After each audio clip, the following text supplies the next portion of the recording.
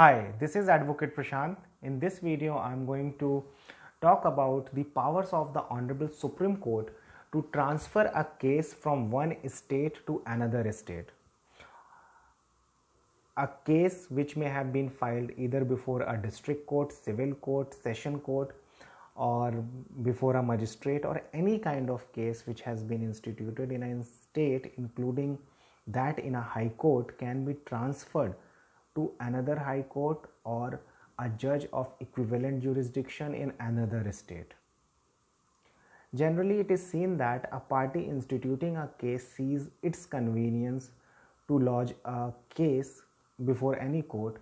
and also, you know, there are uh, even cases where such cases are lodged by the parties against another against the respondent or against the opposite party just to harass them. Though there may be material rights which may get affected and the respondent cannot ignore such cases under these circumstances to secure the end of justice and to get the case tried before a competent court of jurisdiction or a court of competent jurisdiction it becomes imperative to transfer case from one state to another state. So the lawmakers had apprehended such situation and they have conferred such power upon the Honorable Supreme Court. When it comes to civil cases, section 25 of the Code of Civil Procedure gives or confers such power upon the Honorable Supreme Court to transfer cases from one state to another state when it comes to criminal cases it is section 406 of the code of criminal procedure that honorable supreme court can transfer cases from one district court of one state to another uh, court of competent jurisdiction in another state. Even the matters pending before honorable high courts can be transferred from high court of one state to high court of another state. And this power has been conferred upon the Honorable Supreme Court under Article 139 capital A of the Constitution of India.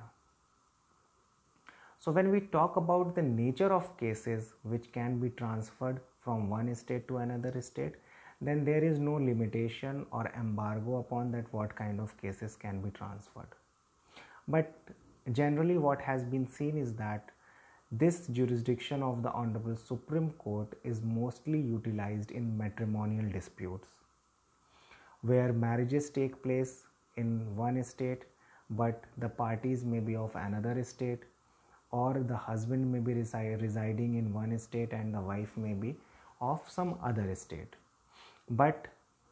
only looking at their convenience the party lodging the case may file it in its city or in its own district. Generally, the law is that for the purpose of or for the uh, offenses when it is done against the wife, then wherever the wife is residing or wherever the wife has shifted can file the case. So the law is a little bit um, in favor of the wife when it comes to conferring the jurisdiction as to where the cases between husband and wife can be filed. But generally, just to harass the respondents or just to harass the wife, it has been seen that husbands they file the cases at a place of their convenience which is far away from the residence place of the wife and under these circumstances this extraordinary power of the honorable supreme court of transferring the cases from one state to another state is being mostly utilized. A large pile of cases filed for transfer of cases are of the nature of matrimonial dispute. The jurisprudence of transferring such cases of matrimonial cases is generally that uh, the court ensures that whether first the courts ensure the honorable supreme court ensures that whether the court where the case has been instituted has jurisdiction or not which will definitely be determined from other provisions of the law. And secondly it tries to ensure that the ends of justice will be met or not. So let us say that uh, marriage had taken place in the same city and the wife was also residing in the same city previously. But after certain dispute with the husband she has moved to another state in another city. So the city where the wife has now relocated itself will also have jurisdiction. But now it will have the court compares that whether the ends of justice will be met by uh, transferring the case or not so generally the grounds that are taken by the wives for matrimonial transfer of matrimonial disputes would be that uh, first it would be that she is not earning right now but she is residing at her parents place or at her current location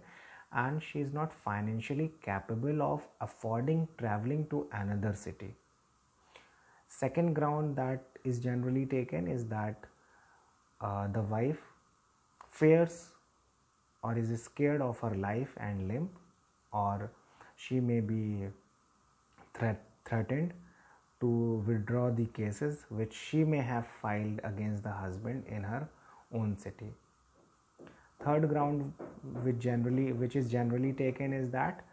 the wife has no one to escort her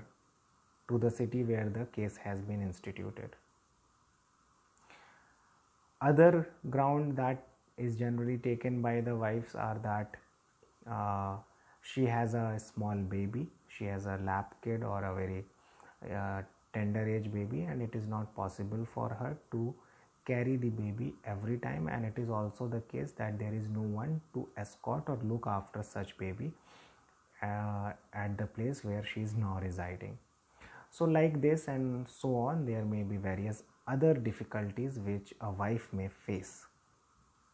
So far as financial capacity if only financial capacity is a problem then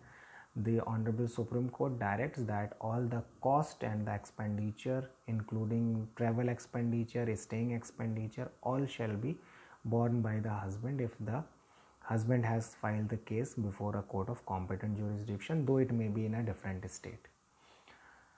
so there would be counter arguments also against it but generally uh, it is the convenience of the wife which is seen by the Honorable Supreme Court. Uh, most of the cases which are instituted for transfer would generally are generally related with divorce petition or the custody of the child petitions and if such cases have been instituted at a wrong jurisdiction and where the wife is having problem or uh, she is facing difficulty to attend the court proceedings then the wife may move to the honorable supreme court uh, with a prayer for transfer of cases. Here, I would also like to inform that uh, if the wife is having financial problem with respect to getting the case transferred or even with respect to fighting of uh, contesting the case then there is a legal services authority which has been established by the central government and also by the state government. And their offices are located within the court premises of the district court. And you may look uh, you may go and seek assistance from the legal services authority for contesting your case. Uh, one may search that uh, legal services authority over internet or may directly visit the district court and inquire from uh, inquire there that where the legal services authority's office is located and then seek help with respect to the transfer of cases this is all with respect of transfer of case from one state to another state through Supreme Court. Thank you so much for watching this video.